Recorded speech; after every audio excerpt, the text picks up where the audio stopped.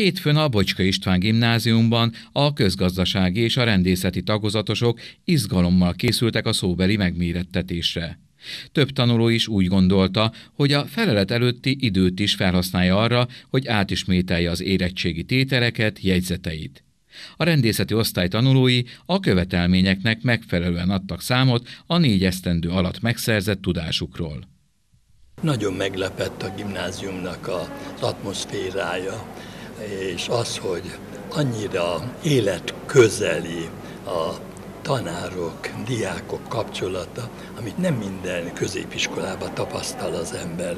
Tehát látszik, hogy ez az elmúlt négy év igazi alkotó jelleggel folyt itt a, a a gimnáziumban. Ezek a fiatalok olyan belső tartással, fegyelmezettséggel, önuralommal rendelkeznek, amit nem tapasztal az ember manapság középiskolában. Nagy vonalúbbak, leserebbek a diákjaink, hát fiatalok, de itt tényleg volt, volt egy nagyfokú együttérzék, felelősség tudat bennük, és ez érződött a feleletekben is, mert egyetlen egy se volt olyan, aki felkészületlenül jött volna, még hogy esetleg gyengében is sikerült a, az érettségi, a szóbeli érettségi, de nagyon mindenki felkészülten jött, és nagyon sok szép feleletet hallottunk, élmény számba menő irodalmi feleletet hallottunk.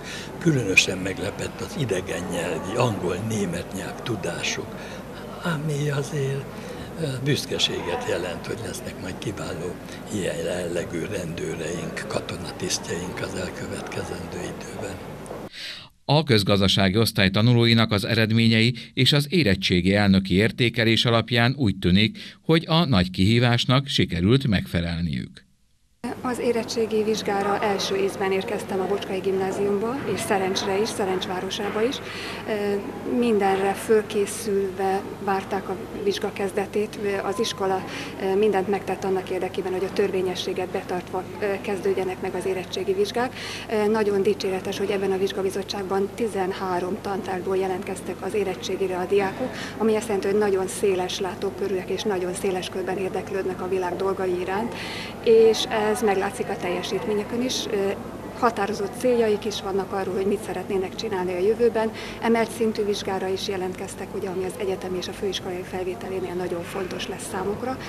A vizsgabizottság nyugodt körülmények között fogadja a diákokat. A szülők mindent megtesznek a háttérben, hogy a diákok kényelmesen és a vizsgáztatók kényelmesen és kultúrált körülmények között tudjanak a vizsgára koncentrálni, és a feleletek minősége is azt jelzi, hogy az iskolában komoly munka folyik, felkészítik őket a mai modern kor elvárásaira.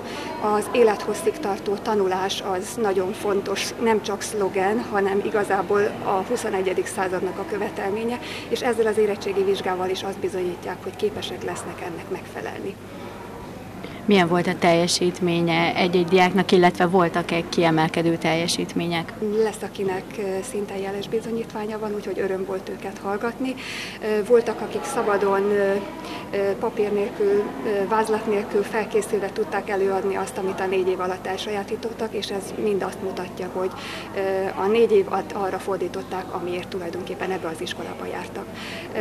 Úgy látom, hogy minden kollega nagyon pozitívan áll diákokhoz, ami nagyon fontos ahhoz, hogy a sikerélményeket erősítsük, és ezzel megerősítsük azt is, hogy ők képesek megállni a helyüket az életben.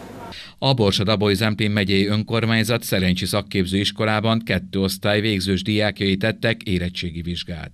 A szóbeli megmérettetéseken is bizonyítottak az informatika és elektronikai szakközépiskolába járó fiatalok.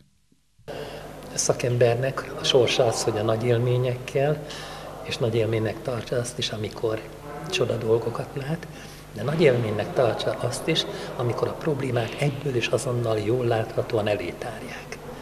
Tehát nekem azzal is kellett számolnom, hogy Magyarországon vagyunk, egy adott rendben, adott rendszerben, egy adott környezetben, egy adott kultúrában, egy adott válogatással kialakult tantestületben, egy adott lehetőségrendszerrel, és ennek alapján a vonzás körzetből jelentkező adott felkészültségű és töltöttségű gyerekekkel fogunk találkozni. Most ezek a gyerekek Hát én azt mondom, hogy a társadalom jelenlegi állásának tökéletesen megfelelnek, sajnos, azaz a felkészültségük, úgynevezett rátermettségük, tanulmányaik megkezdésekor ennek arányában sajnos nem a legjobb.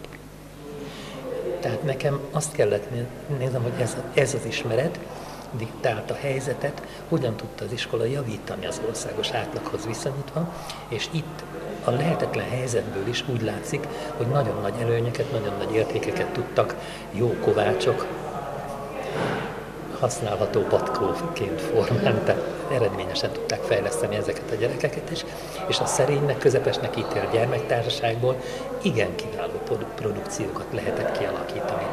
De sajnos nem mindenkiből vannak, akinek sikertelennek ítélhető egy, egy felületes látvány, minősítő látvány alapján, tehát az osztályzatok alapján a teljesítménye, de én azt mondom, hogy ítéljük meg ezt úgy, hogy az iskola közreműködésével ez még felismerhetően objektív, és ha kell, akkor figyelmeztetést is ad az illetőnek, hogy hol kell még kiegészíteni a készségeit, képességeit. A szóbeli feleletek után a vizsgabizottság elnöke zárt tanácskozáson összegezte a tapasztalatokat, majd jegyzőkönyvbe kerültek az érdemjegyek. Ezután következett az érettségi bizonyítványok ünnepélyes átadása, melyeket a maturálók szüleik jelenlétében vettek át. A jeles eseményen az érettségi elnökök felhívták a végzősök figyelmét arra, hogy köszönjék meg elsőként szüleiknek a támogatást, a bátorító szavakat, valamint tanáraiknak a kiváló oktató-nevelő munkát, amely biztos alapul szolgál majd a felsőoktatási intézményekben, az életben. Az elnökök arról is szóltak, hogy soha ne feledjék el, hogy egykor bocskaisták voltak.